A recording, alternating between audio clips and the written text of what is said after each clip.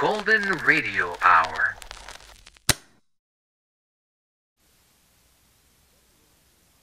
WRVR presents X Minus One. This is an experimental program on WRVR, and we'd like to hear your comments. Please drop us a note to X Minus One, WRVR, New York, New York, 10027. And now, tonight's adventure on X Minus One. Countdown for blast off.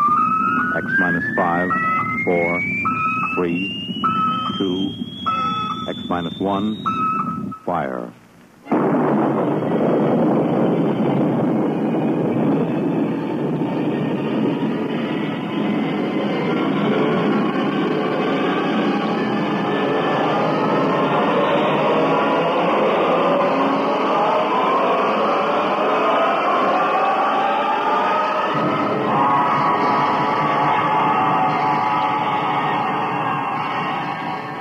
Far horizons of the unknown come transcribed tales of new dimensions in time and space.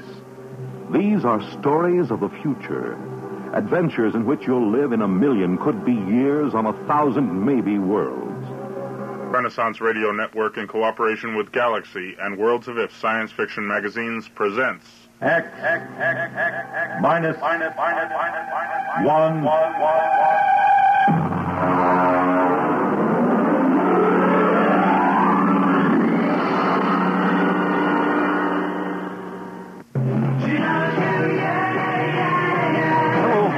Fox. As a broadcaster, I've seen fads come and go, but few have stayed with us. One of those few is the Beatles. The Beatles created a whole new world of music, fashion, and ideas, and though they're no longer together, radio stations around the world still play their music.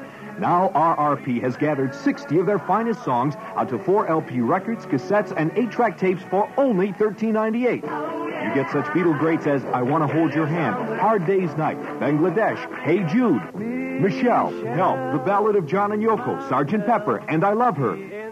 Yellow Submarine, and 50 other great hits. You get your choice of stereo records, 8 tracks, or cassettes for only $13.98. This is an album that you'll want to keep, and it will surely grow more and more valuable in years to come. Here's your announcer to tell you how to order. Send 1398 to Beatles, Box 377, Seymour, Connecticut. That's Beatles, Box 377, Seymour, Connecticut. Specify cartridges, cassettes, or records. Money back guaranteed by Electro Sound Dupe Incorporated.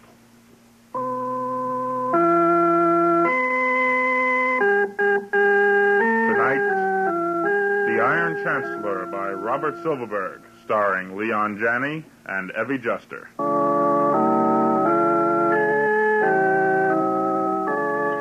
Like many other modern families, the four of us could all stand to shed quite a few pounds.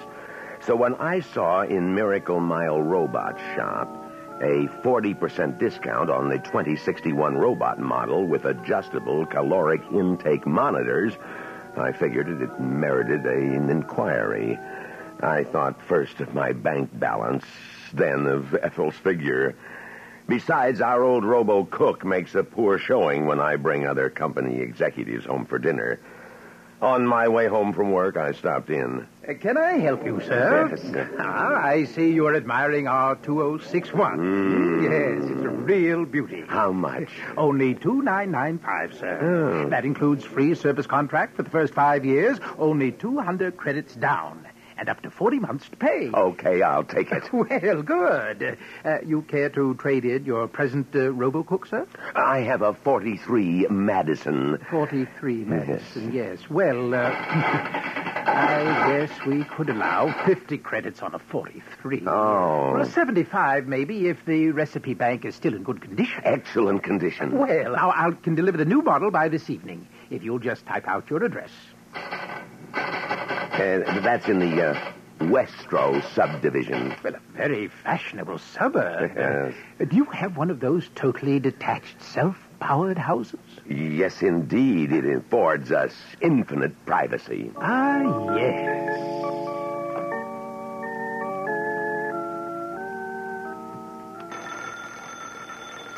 I'll get it. Who is it, Myra?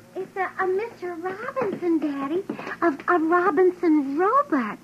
And he's got a bulky package to deliver. A a... surprise, my dear. What in the world is... Myra, uh, show him in, please. Oh, all right.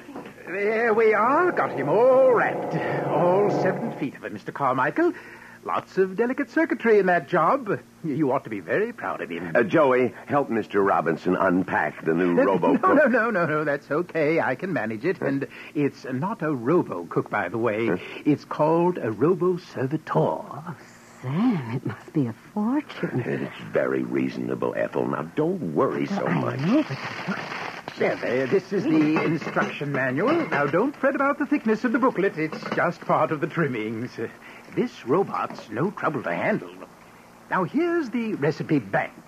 Biggest and best ever designed. And uh, what about the uh, special features? The reducing monitors, you mean? yes. Well, they're right over here, see? You just program in the names of the members of the family and their present and desired weights. And the Robo Servitor takes care of the rest. Computes caloric intake, adjusts menus, and everything else. I told you I was going to do something about our weight, Ethel. no more dieting. The robot does all the work. Oh, my. I don't think there'll be any trouble, but if there is, just give me a buzz. Right. I felt a momentary twinge of nostalgia when Robinson took our obsolete robo-cook. After all, she, uh, I mean, it, was with us 16 years. Uh, that night, the four of us spent the evening discovering things about our new robot. Joey prided himself on his knowledge of practical robotics. So I let him integrate our weights and desires. You wish this schedule to take effect immediately? Oh, well, uh, uh, tomorrow morning at, at breakfast. We might as well start right away. Good morning, one and all. Oh, good morning. Your toast and coffee, sir. Well, I uh, like cream and sugar in my coffee. You must learn to drink your coffee without such things if you wish to lose weight. Oh, yes. Yes, of course. Well, this regimen is more Spartan than I anticipated.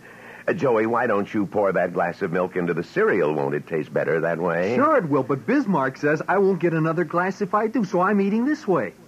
Bismarck? It's the name of a famous 19th century German dictator. They called him the Iron Chancellor. Pretty good name for him, huh?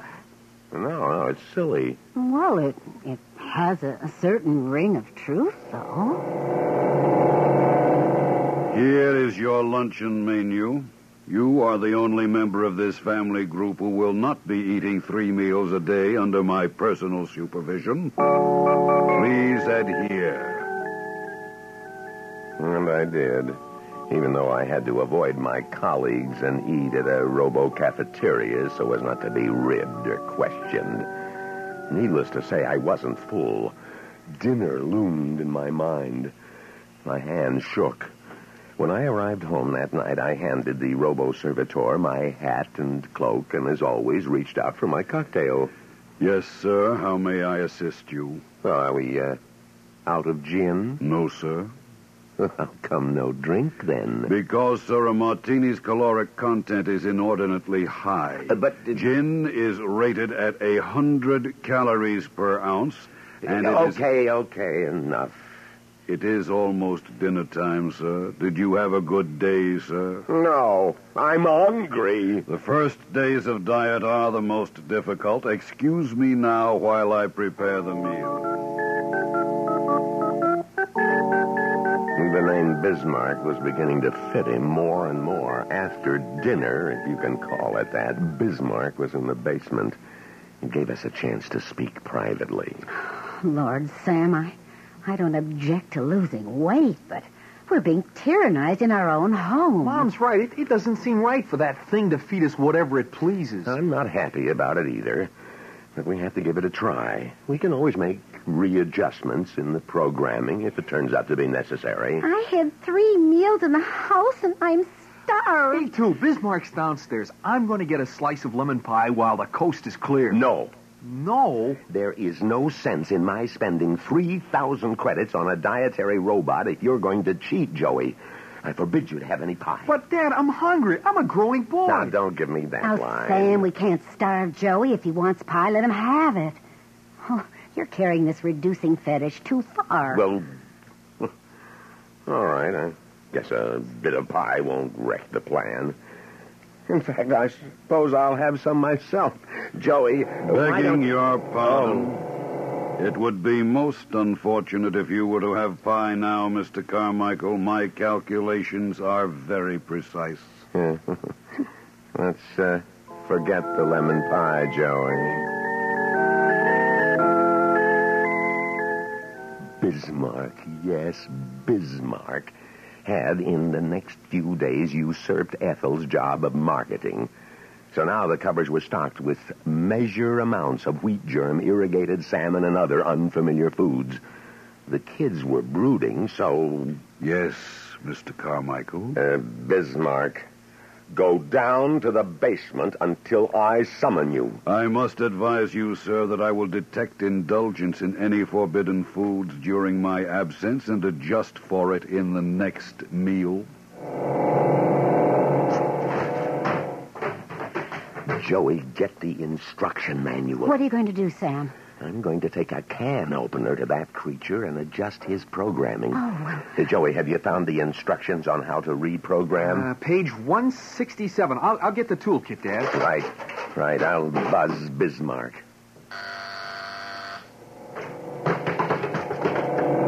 Uh, uh, Bismarck, I, um, I'm afraid it's necessary for us to uh, change your program.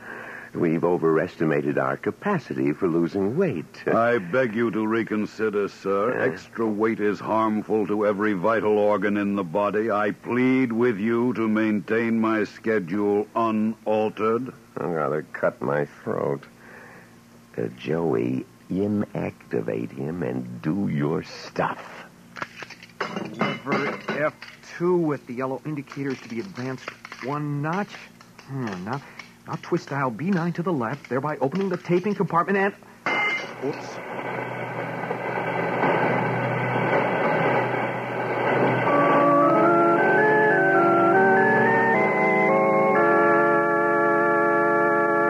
We will be back with the second half of The Iron Chancellor after this message of importance.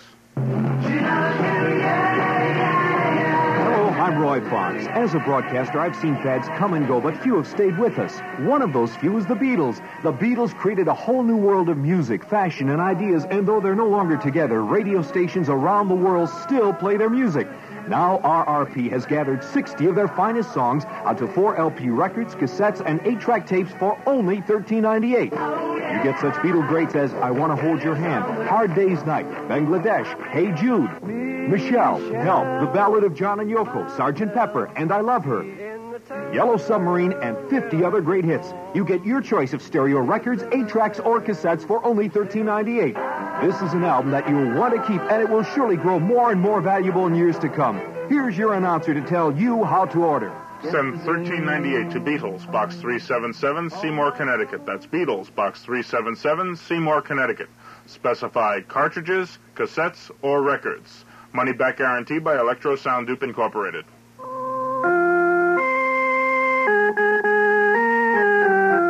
And now we return to X minus one and the Iron Chancellor by Robert Silverberg.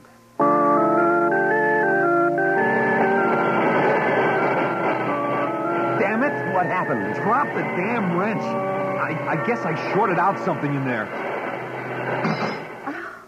We'd better call Mr. Robinson, Sam.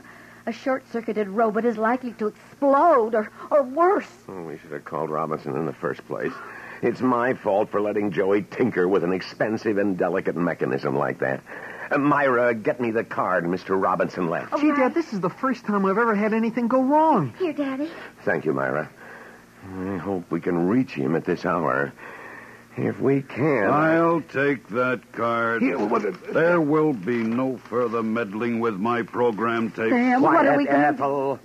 Now, Bismarck, I order you to shut yourself off at once. My apologies, sir. I cannot serve you if I am shut off. I don't want you to serve me. You're out of order. I want you to remain still until I can phone the repairman and get him to service you. Oh, oh, you destroyed Robinson's card. You are violating the first law. According to the first law, further alterations of my circuits would be detrimental to the Carmichael family. I cannot permit you to summon the repairman. Don't get him angry, Dad. I'll call the police. I'll be back. You just- will remain within this house. I have now reversed the polarity of the house privacy field. Since you are obviously not to be trusted to keep the diet I prescribe, I cannot allow you to leave the premises. You will remain within and continue to obey my beneficial advice. Breakfast will be served at the usual time. Good night.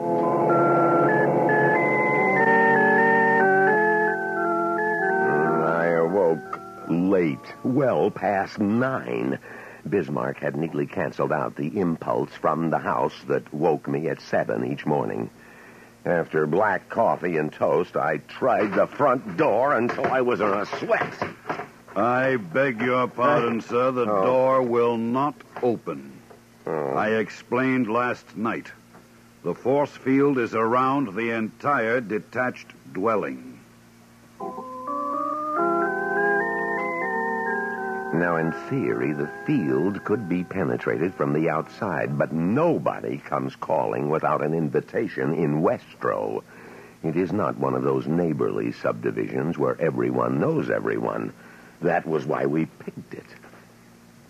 Dad, the phone connection's severed. Damn him. He can't hold us prisoners here. Oh, Bismarck's short circuit has resulted in exaggerating his sense of functioning.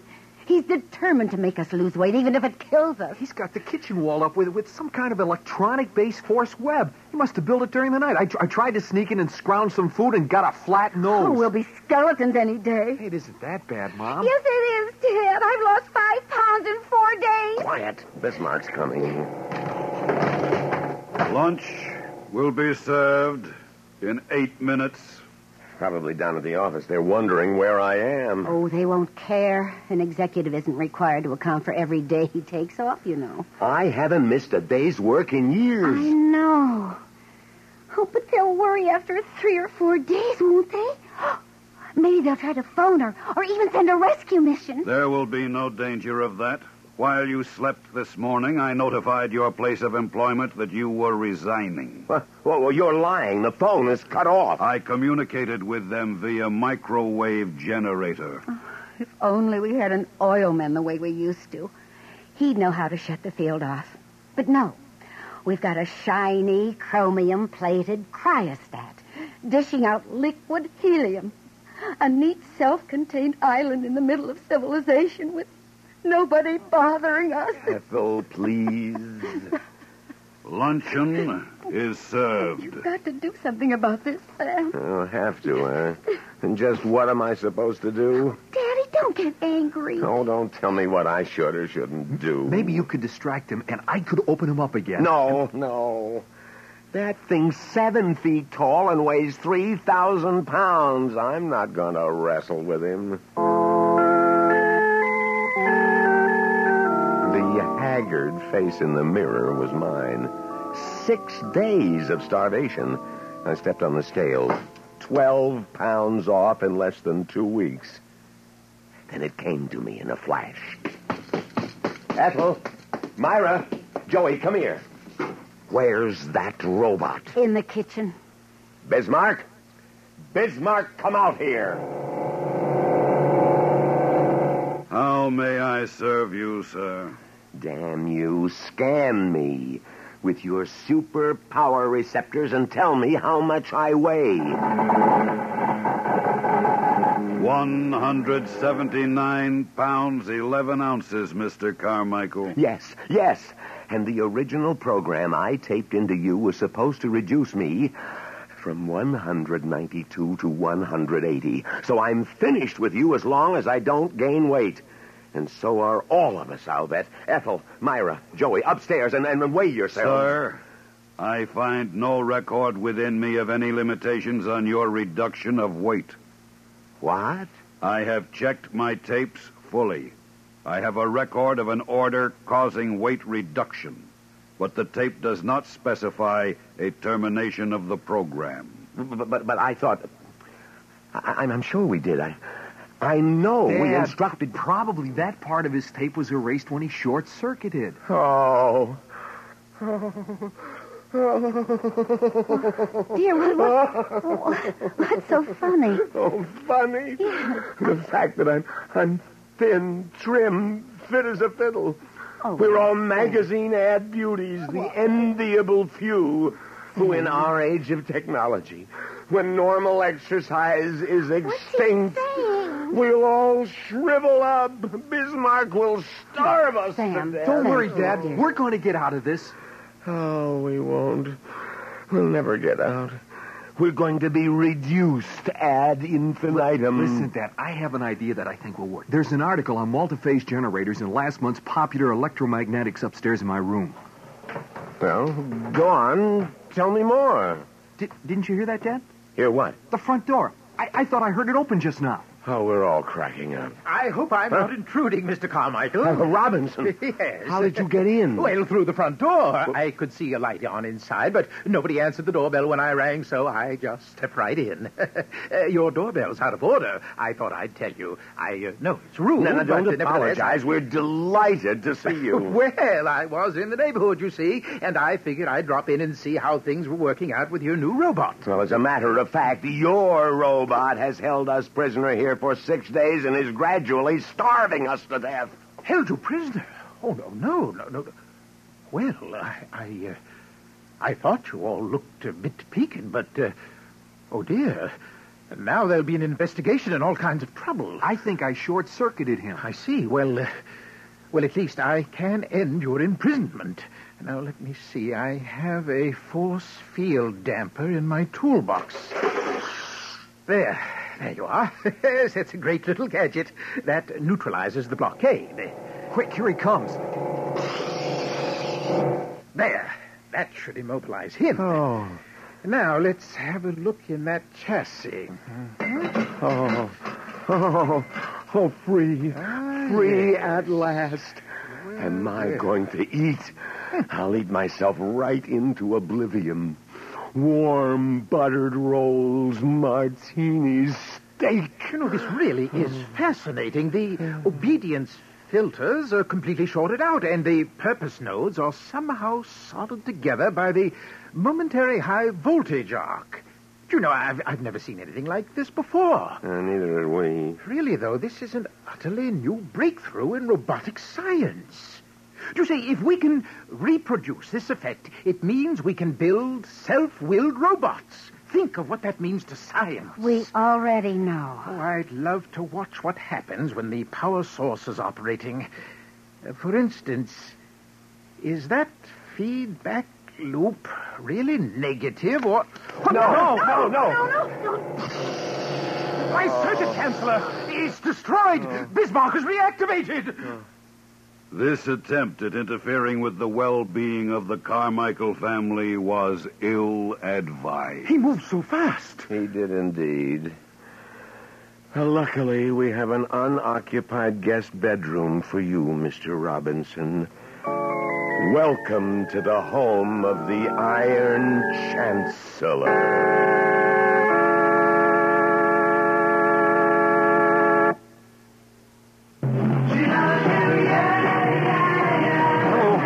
As a broadcaster, I've seen fads come and go, but few have stayed with us. One of those few is the Beatles. The Beatles created a whole new world of music, fashion, and ideas, and though they're no longer together, radio stations around the world still play their music. Now, RRP has gathered 60 of their finest songs onto four LP records, cassettes, and eight-track tapes for only $13.98. You get such Beatle greats as I Want to Hold Your Hand, Hard Day's Night, Bangladesh, Hey Jude, Michelle, Help, The Ballad of John and Yoko, Sergeant Pepper, and I Love Her. Yellow Submarine, and 50 other great hits. You get your choice of stereo records, 8 tracks, or cassettes for only $13.98. This is an album that you'll want to keep, and it will surely grow more and more valuable in years to come. Here's your announcer to tell you how to order.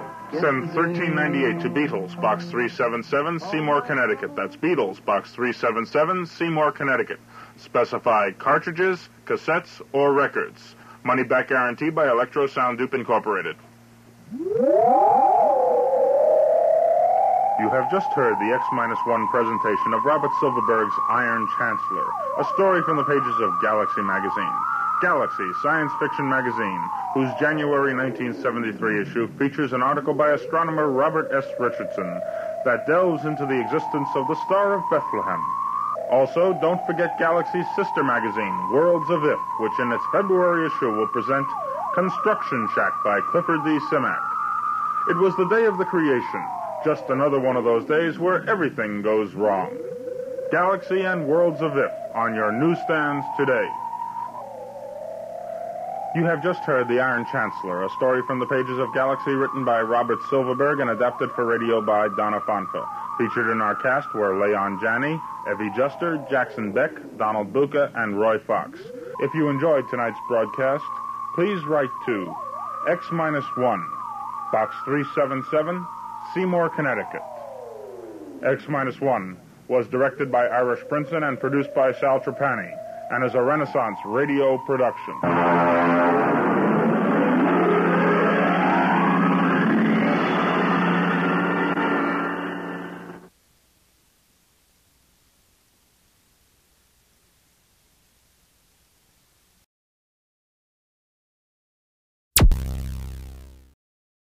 Thank you for listening. Please like and subscribe.